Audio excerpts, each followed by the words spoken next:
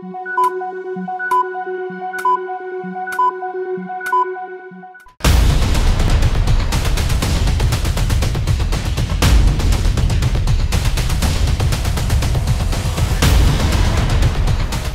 Q M Bahadrabad में इख्तलाफात शिद्दत इख्तियार कर गए। नौबत हाथापाई तक पहुँच गई। बी एन टी वी अंदर की खबर बाहर ले आया। एम क्यू एम बहादराबाद की एन ए दो सौ उनतालीस में बदतरीन शिकस्त। एम क्यू एम रहनुमाओं में शदीद झगड़ा। नौबत हाथापाई तक पहुँच गई। झगड़ा और हाथापाई एम क्यू एम पाकिस्तान के रहनुमाओं की मरकजी इलेक्शन ऑफ़िस में इजलास के दौरान हुआ। सराय का दावा है कि खालिद मकबूल सिद्दीकी, आमिर खान, ख्वाजा इजहारुल हसन, अमीनुल हक एक दूसरे पर शदीद इल्ज़ाम लगाते रहे। एक दूसरे को चीख चीख कर शिकस्त का जिम्मेदार करार देते रहे। आप बुजदिल और नाकाम सरबरा साबित हुए। आमिर खान की बर रास्त खालिद मकबूल पर शदीद तनकीद आपका उन्नीस सौ बानवे में बोया हुआ फल आज एम क्यू एम को भुगतना पड़ रहा है। 2011 में आपको पार्टी में वापस लेना तबाही का सबब बना है। खालिद मकबूल का तुर्की ब तुर्की जवाब।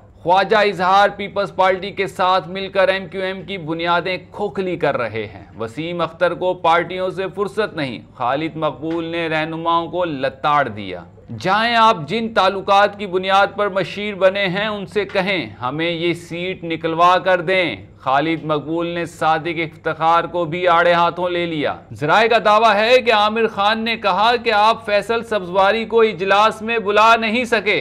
यहाँ पार्टी बर्बाद हो गई और वो बेगम के साथ बोट में समंदर की सैर कर रहा है। अमीनुल हक को किसी ने पूछा?